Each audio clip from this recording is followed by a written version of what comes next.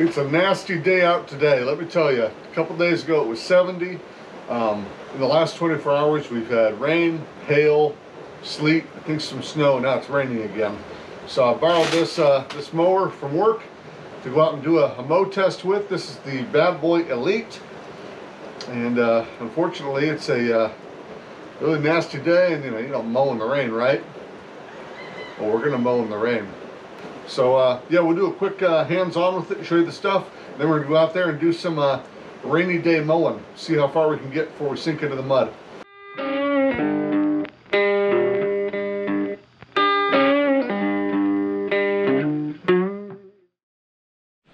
Yeah, it, it's ugly out here. Ugly enough that I'm wearing my rain jacket. Ugh, gross. So here it is, the Bad Boy Elite. Hidden deep in the depths of our barn here. It's a great little mower. Let's just show you some stuff from the front. Huge big old tire here. Look at these guys, I love this. There's a big rubber pad. This kind of soaks up the, the bumps and bruises from when you're going through the lawn. And unlike a spring that'll compress and then snap up on you and make you more bumpy, this one can just compress and it doesn't need to explode. That's pretty neat. One, two, three, four anti-scalping wheels. That's sweet. This guy's a 54 inch deck, pretty big, and it is thick. Let's get my hands under there. It's like that thick, real thick. Big connecting rods here holding onto the deck. This one's greasable, so you don't get a bunch of ugly sounds and stuff binding up when you're raising and lowering the deck. Lots of heavy metal here. Open up the deck right here, or the, uh, the foot pad right here, and you can get down into these guys to replace belts and spindles. And that's where you tension your, uh, your spindle that puts your belt tension on. So that's pretty neat. Um, these are not greasable, but we'll get over it. What else do we have on this thing? Fuel tank, level indicator.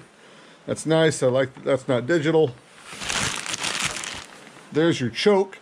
Now, of course, you got to choke your tractor to start it or your mower to start it. This is your e-brake. So if you have your e-brake turned off, the mower's not supposed to start. There's the safety switch. So it kind of reminds you, turn on the e-brake, then you can choke it to start it. There's your fuel tank. All your hoses are really easy to get to. This one's running a Kohler 7000 series. It's kind of dark in here, but I'm sure you can see that. I think the 7000 series is a great engine. People will disagree, but they're wrong. Uh, real easy to get to your oil dipstick, your oil filter, your fuel filter. Pop the seat up. Super easy to get to your battery. Look at all this. This is very easy to maintain. Uh, a lot of flat spaces so you can get in here and blow the grass out. You don't want grass building up. Yeah, you can even get to the, uh, looks like the cap on your hydros. You can even get to those. That's wonderful. And these are running uh, Hydro Gear. I don't know what models these are. I think these are in the 2000 series, but good little hydros. And then starter switch here. You do have an hour meter. There's your throttle. There's your PTO switch. And uh, this is for your height adjust. We'll show you how to do that. Let's put this seat down. So how are you guys doing? You having a good day? Oh man, I tell you what, I'm trying to get stuff done around here. And we're just having biblical weather events, it seems like. Okay, so we're sitting on the seat, right? So you push this foot pedal.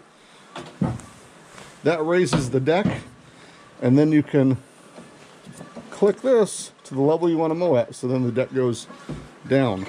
So push the foot pedal, deck up, adjust, let go, deck goes down to that level. All right, do you want to see what we're going to be mowing? Oh, well, we'll show you.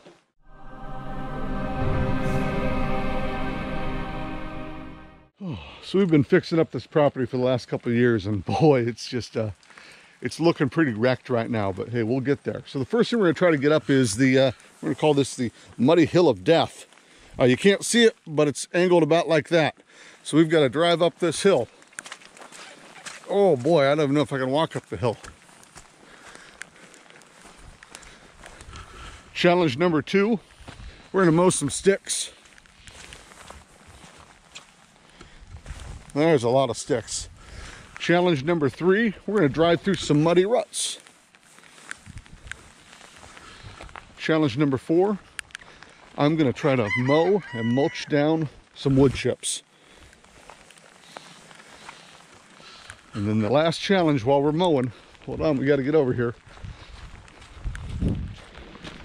We're gonna mow a hillside in the rain, which uh, it's really difficult to do with a zero turn mower. And we've got obstacles to drive around like piles of sticks and stuff. And this hillside again, it's got a slant to it, about like that.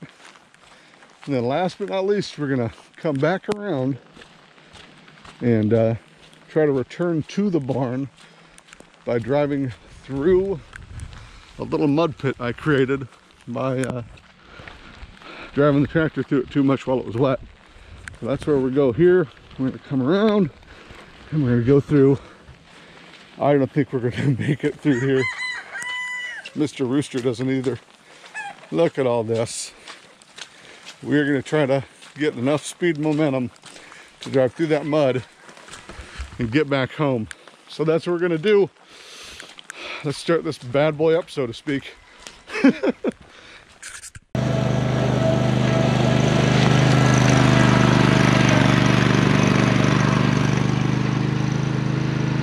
Oh man, we had no problem going up that hill. Smokes. Here's what we're gonna do. We're gonna go back down the hill. I'm gonna go halfway up, stop, and then try to start in the middle of it.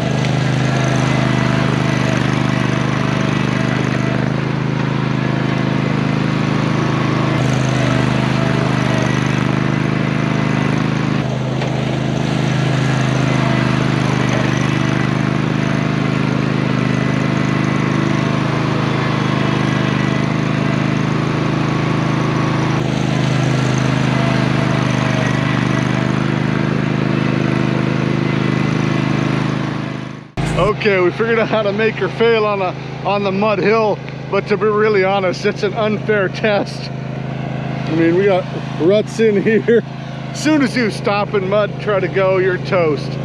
Oh my goodness. And yeah, that left tire just couldn't go anywhere. Okay, next test.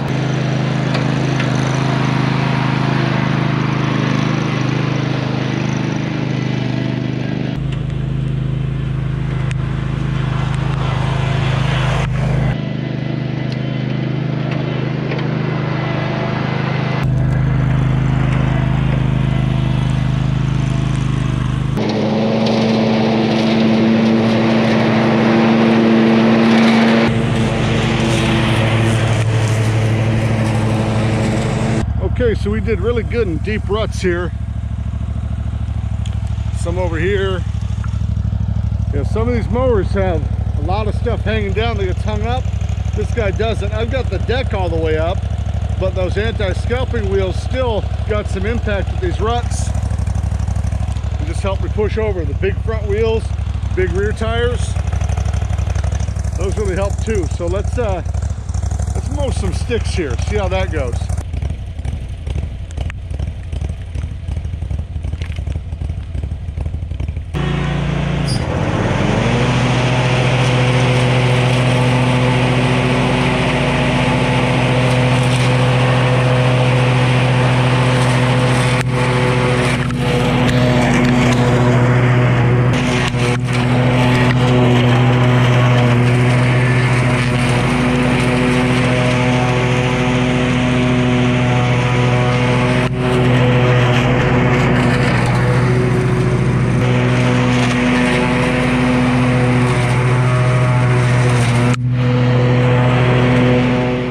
Wow, that thing's mowed those sticks up like nobody's business.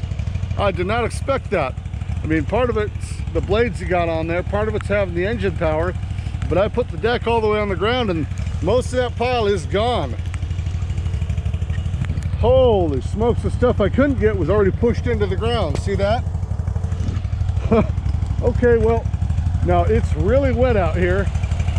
I'm gonna see if this guy will pick up and mulch these wood chips that we have on the ground. So that'll be what we do next. Here we go.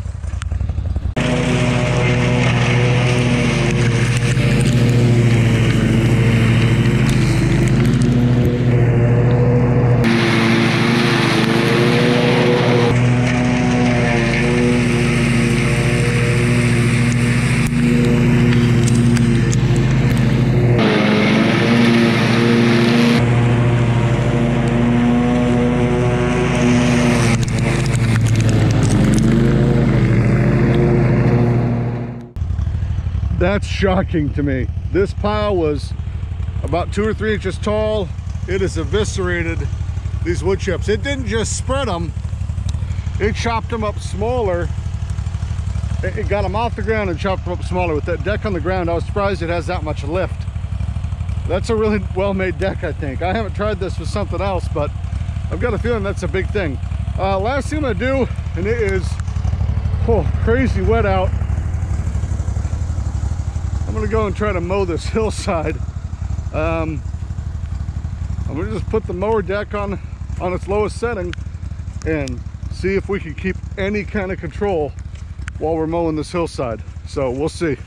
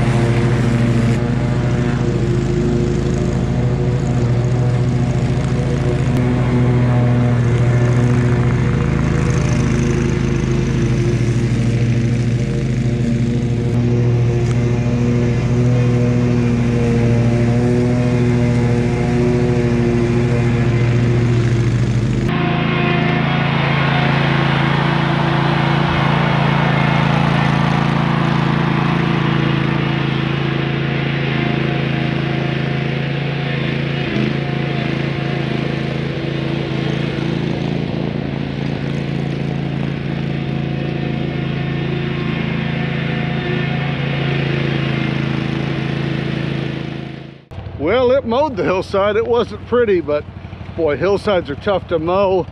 You know, anytime you stopped your momentum and tried to restart, it would just spin because those tires are turf tires. You know, they're not, they're not meant for, for mudding around, but did a pretty good job, really. Um, I could get it out of control if I wanted to, but if I kept my head on my shoulders, it did pretty good. Um, I'm gonna keep mowing and uh, we'll keep mowing and uh, I'll give you some uh, some highlights in a minute here. Okay, before we put her in the barn, one last test. We've got to make it through this area. This doesn't look like much, but I've got standing water, I've got mud, I've got sticks, I've got bricks, I've got stones. I don't think it's gonna make it. but we'll find out. Here we go.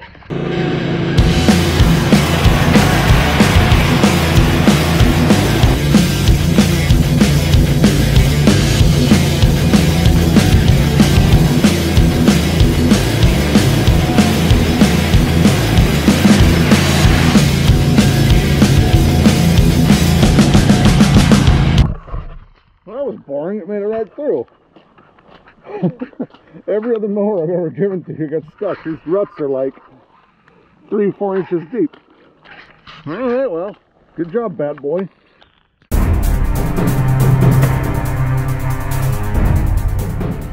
All right, we're done mowing for the for the day. This this whole place is underwater. Come here, look at this. Look at this. We got we got a little pond out here. There was ducks in there earlier there's not usually a pond there. This is just all clay out here and water just sits on top of it. So I couldn't mow most of this place, but I had that high spot. That was the high spot that was still underwater. Anyway, so uh, did some good mowing with this thing. Um, just a, a, little housekeeping note. Um, I had this deflector up while I was mowing. That was for show. It looks cool. You know, when stuff spraying everywhere into the camera. I want to get likes on YouTube's. You know, feel free to push push like, you know. But when you're mowing, put it down. I, I, mowed off camera and had that thing down. It's it's not put it down. It's safe. You know, neither Bad Boy nor I, nor any dealer or the dealer I work for even, would tell you to mow with that thing up. They would tell you put it down. That's safety first. You don't want to murder somebody. This thing absolutely flings material, you know, so put that, put that guy down. Okay, uh, other little safety item I did notice, um, on these decks, you've got a belt guard where there's some exposed belt here and stuff. Um, I had a little untied shoe. I didn't have an incident with that, but man, keep that in mind. So that's something to think about. Okay, what do I like? Uh, so these anti-vibe pucks, man, I actually feel like it made a difference. You know, you get a lot of this kind of motion when you're mowing, and I feel like it really ate up a lot of that. I don't feel like I got beat up. Um, something I did on this is when these mowers come in, these bars are actually flipped. They unscrew the, we unscrewed these and flipped them the other direction because when I pull these back, they stick into my gut. This is an adjustable seat on the Elite. There's an adjuster right here somewhere that's really hard to get to. You pull that and move the seat forward and aft. Forward and aft, I think that's right. But uh, I flip the bars so I'm not hitting myself when I suck them in because um, I got a big gut. But I also like to adjust my mower so when I'm mowing, my arms are at rest at the top speed or the normal speed I mow at. So I'm not constantly modulating my speed, but I'm also not constantly fighting it from going too fast and bumping me all over. It's a, it's a great thing to do with the zero turn if you can. Dial it in so your arms are just kind of at rest at the speed you mow at. You'll, you'll feel a lot better when you get done mowing for the day if you're mowing a few acres. So that's something we noticed. Um, seat was pretty comfortable. It's got armrests. I never use them. I don't know why they have them. Um, something else that's kind of interesting on this, watch this. So we're gonna, we're mowing. We push these bars forward and they kind of stay there. If you're using that, uh, that little cup holder, maybe to have a little sippy sip, you can let go and the whole machine doesn't just, it doesn't have those, those lap bars return and you around. So I think that's kind of cool. You can actually tune these bars from what I understand. There's, you can kind of see there's access to springs and stuff. I think you can tune those a little bit, but I like it, man. You can push both these bars out and the machine just kind of keeps going forward. So if you got to blow your nose or something because you're allergic to, to grass, which some of us are, um, you can do that. And man, actually th this whole lap bar system, I really like the, the, the grease zerks there. That's really important. You can grease this machine. That's amazing. Um, yeah, it did very admirably. Um, I mowed at the lowest setting, which I never do. I had a ton of trouble clogging this thing up. I finally got into some patches of grass like, like we have here, which is just ugly swamp grass, but it was real thick and like eight, eight inches long. And I had to slow down because I was bogging it down. But that chute opening is so big, it does a really good job of clearing. Now, if you want to mulch, they make a true mulch kit that plugs the deck, lets you keep the grass inside the deck and mulch it down. We can't do that out here. It'll, it'll plug up, leave clumps, just be ugly. Um, they do also have a power bagger. Jury's out on those. We've used the power baggers out here before. If it's kind of wet like this, they plug up. Um, but you can also get a bagger made by Accelerator here in Washington State. That's a big aluminum basket that goes off the side. Those things do great. They don't clog, they collect the grass. Something worth looking at. Um, any other thoughts on this guy? Not really. It's a little powerhouse. Mulched up sticks, cut up grass, mulched up mulch. Um, did fine on the hill, you know. Zero turn mowers just have troubles on hills. The reason is your rear tires are pushing you and then one stops and the other one's trying to still push you while redirecting your momentum. It's very difficult. So you saw that, you might have seen this thing slipping and sliding on the hill test. It's not exciting video, but it's kind of cool. And what I was impressed with though was coming through this uh, this muddy area. Look at this mud. Coming through that area was effortless. I've I've gotten multiple uh, mowers stuck in there, and I don't know what it is about that area, but just one of the wheels will start spinning and you're toast. And this guy just kept on trucking. Um, so yeah, bad boy ZT Elite.